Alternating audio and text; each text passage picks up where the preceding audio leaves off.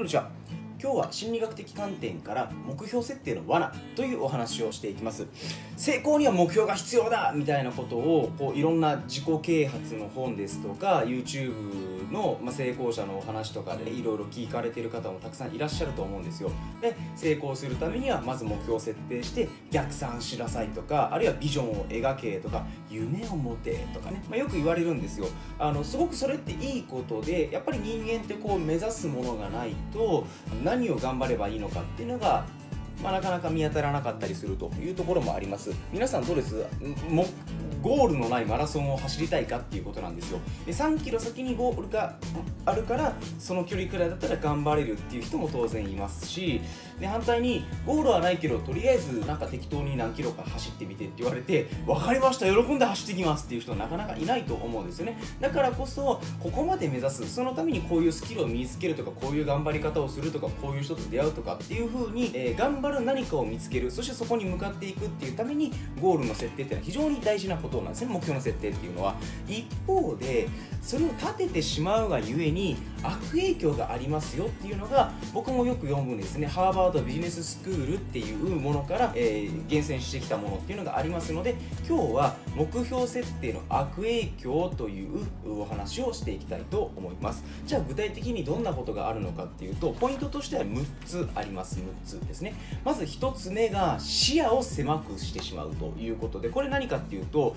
こう目標をこれやりますっていう風に絞り込んでしまうと当然注ぐ力っていうのは集中的にいくことができるんですけれども一方でもしかしたらあなたがもっと成功できるとかスキルを伸ばすチャンスが他にあったかもしれない。その可能性があったかもしれないのにそれを見えにくくしたりあるいはもう全く見えなくしてしまうっていう恐れが出てくるんですよね。ですからゴールを設定するのであれば幅広くするべきなのかもそもそもしないで何かその自分が身につけたスキルで掴んだチャンスを手に入れるっていうようなことをするのも一つ手ではないかっていう主張があります。それから2つ目にモチベーションを下げると。でこれは何でかっていうとまあよく自己啓発の本とかを読んでるとできるだけ大きな目標を立てなさいとか自分が生きている人生の中のその延長線で叶えられるような程度のものじゃなくてもうそこから外れたでっかいでっかい夢を持ちましょうみたいなことを言ったりするんですけれども、まあ、そういうのはですね某脳科学者脳機能科学者さんが言ったりしてるんですけれどもそれってそれももちろんあの主張としてはいいと思うんですよ。僕もそういう夢を持とうかなっていう時期もあったんでところが僕はあのそういうのはまあ一旦排除してそれは話は置いといてですね、まあ、一方で何が起こるかっていうと失敗した時とかあるいは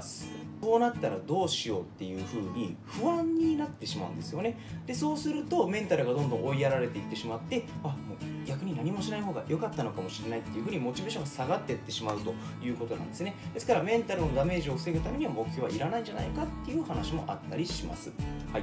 続いて3つ目。長期的な利益を失うということでこれは短期的なことばっかりに目がいっちゃうんですよ。目標達成するためにはこれとこれとこれとこれをやろうみたいな感じになってしまってこれは1番と同じで視野を結果的に狭めてしまうというところですので果たして、え、その目標を立てることによって、え、本当にあなたが手に入れたいものとかなすべきことっていうものを、え、見失っていませんかっていうことに注目してほしいというそういう話になります。続いて4つ目失敗の可能性を高めてしまうと。リスクの高いことに手を出してしまって失敗の可能性を高める。当然成功するためにはリスクがいると。具体的に目標という話というよりは、まあ、何かしら投資をしなくちゃいけないですよね。何かのこう資格を取るっていう目標とかお金をこうやって稼ぐとかっていう目標を立てた時にその資格を取るために、え扱う資格を取るために勉強する用の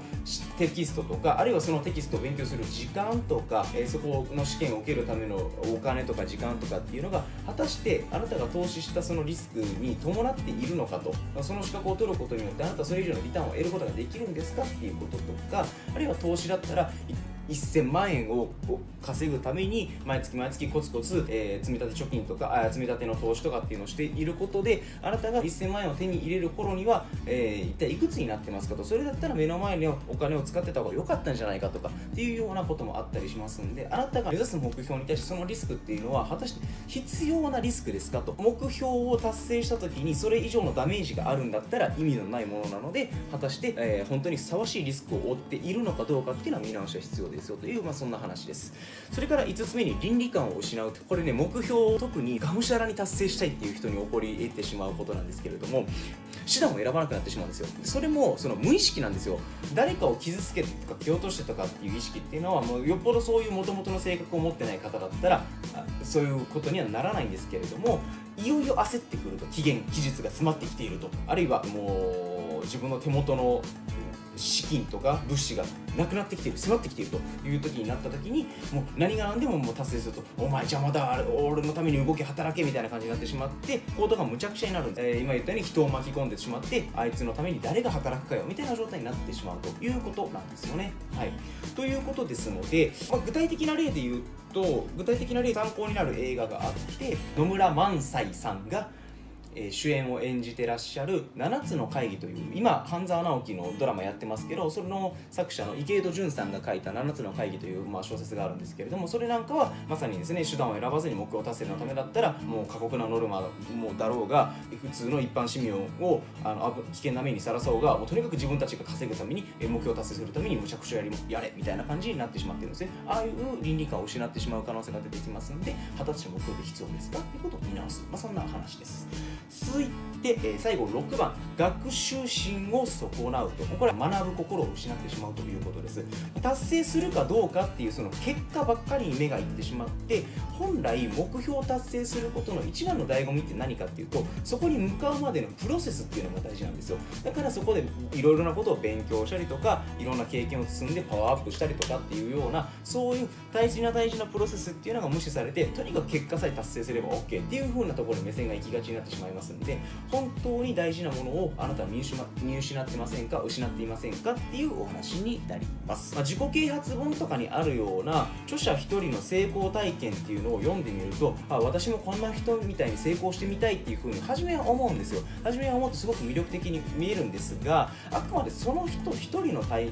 験で成功したわけなんですよね。だからあなたがそれに当てはまるかどうかっていうのはまた別個の話なんですよ。やってみてうまくいきそうだったらそれはいいかもしれないですけどけどやってみていやダメだったな。でもあの人が書いてる通りに自分は一生懸命頑張ればなんとかなるっていうふうに思ってしまってドツボにはまっていくっていうことも十分ありえてしまいますので目標が大事だと目標を立てていくことは大事だっていうことを思い込むっていうのは僕は危険だと思います。立てることにはそれここに向かう副作用があったりリスクがあったりっていうこともありますのでその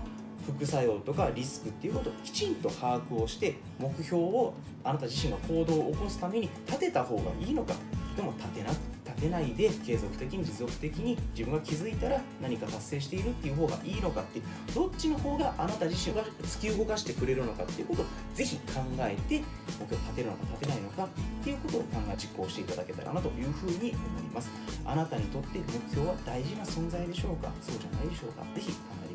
たらというふうに思います。ということで本日の動画以上とさせていただきます。お疲れ様でした。さよなら。バイバイ。本日も動画を最後までご視聴いただきましてありがとうございました。この動画が面白かったな役に立ったなという方はですね、ぜひグッドボタンと、それから下のチャンネル登録ボタンもお願いします。それから皆さんの強みを引き出したりとか、あるいは伸ばしていく、そんなですね、コーチングもやっています。興味のある方、セッションを受けてみたいという方は、コメント欄、もしくは、D、え Twitter の DM からお願いします。それではまた次回の動画でお会いしましょう。お疲れ様でした。さよなら。バイバイ。